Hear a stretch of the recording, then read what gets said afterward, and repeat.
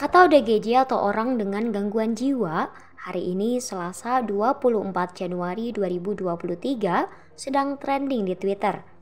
Usut punya usut hal tersebut karena ada seorang ODGJ membakar masjid di Garut, Jawa Barat pada Minggu 22 Januari 2023. Hal tersebut diungkapkan oleh Kapolres Garut, AKBP Rio Wahyu Anggoro bahwa kebakaran masjid di Kecamatan Leles, Kabupaten Garut akibat perbuatan orang dengan gangguan jiwa dan atau ODGJ.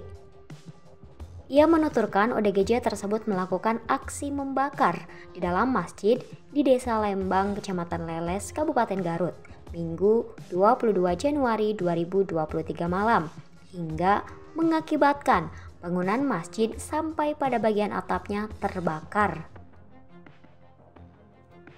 Pihaknya kemudian mencari informasi terkait kondisi pelaku hingga diketahui ada riwayat gangguan jiwa. Kondisi orang itu, kata Kapolres, diperkuat dengan adanya riwayat pernah tiga kali masuk ke rumah sakit jiwa. Kemudian dikuatkan juga oleh masyarakat bahwa pelaku menderita gangguan jiwa. Kapolres menyampaikan dari hasil pemeriksaan, pelaku mengaku di dalam masjid kedinginan, kemudian mencoba menghangatkan badan dengan cara membakar sesuatu.